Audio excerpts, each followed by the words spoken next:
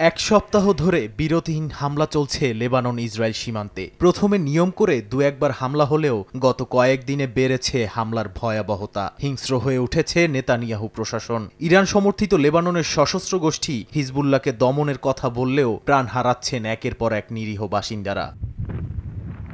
দেশটির স্বাস্থ্য মন্ত্রণালয়ের তথ্য মতে, গেল চব্বিশ ঘন্টায় বহু মানুষের প্রাণ গেছে ইসরায়েলি বাহিনীর নৃশংস হামলায়। লেবাননের রাজধানী বৈরুত সহ সর্বত্র ছড়িয়ে পড়েছে হামলা, আর এতে প্রাণহানির সংখ্যা সাতশো ছাড়িয়েছে বলে তারা নিশ্চিত করেছে। জীবন বাঁচাতে নিরাপদ আশ্রয় সরে গেছেন প্রায় আশি হাজার বাসিন্দা। এছাড়া বাস্তুচ্যুত হয়ে পড়েছেন আরও হাজার হাজার মানুষ।